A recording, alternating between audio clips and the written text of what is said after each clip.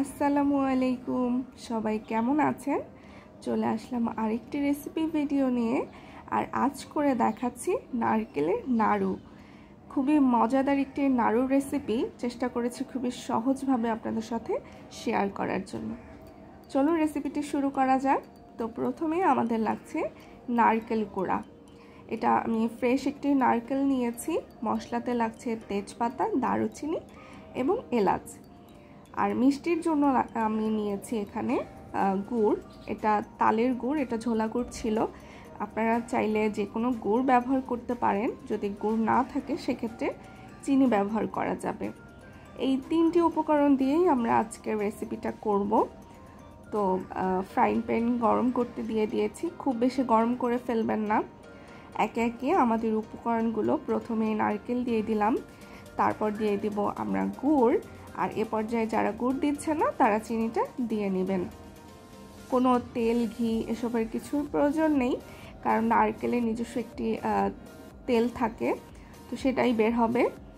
তো এই তো গুড় দেওয়া হয়ে গেল, এবার দিয়ে দিব মশলা।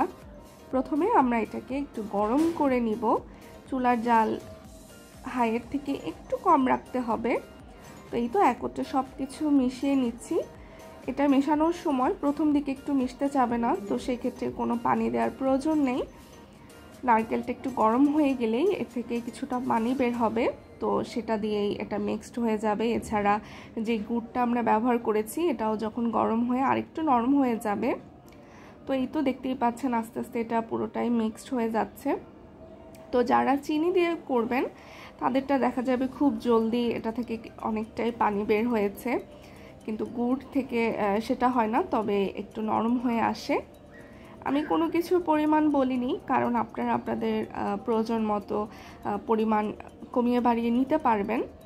আমরা এখান থেকে অন্য একটা পিঠা বানিয়েছিলাম, তো ভাবলাম সেই রেসিপিটাও আপনাদের সাথে শেয়ার করি। আমি অলরেডি সেটা পোস্ট করেছি, আমি লিঙ্কটা ডিসক্রিপশন বক্সে দিয়ে দিব।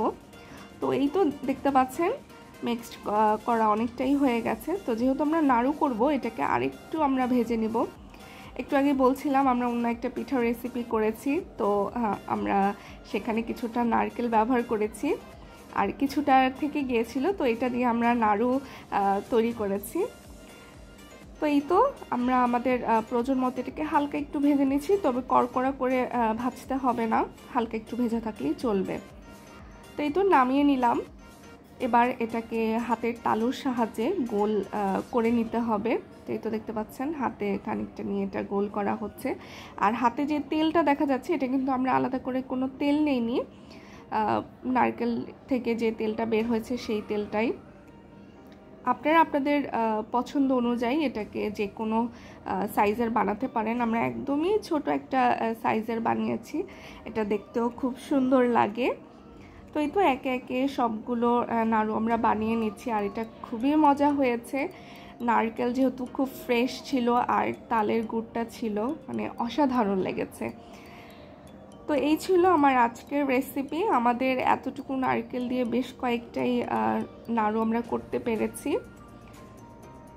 আপনাদের কাছে কেমন লেগেছে অবশ্যই জানাবেন। ভালো লাগলে লাইক এবং কমেন্টস করবেন। ফ্রেন্ডস এবং ফ্যামিলির সঙ্গে শেয়ার করবেন। এই তো শেষ হয়ে গেল আমার নাড়ু বানানো। আজ আসছি, আসব অন্য কোনো রেসিপি ভিডিও নিয়ে। ততদিন পর্যন্ত সবাই খুব ভালো থাকবেন, সবাই সবার জন্য দোয়া করবেন। আল্লাহ হাফিজ।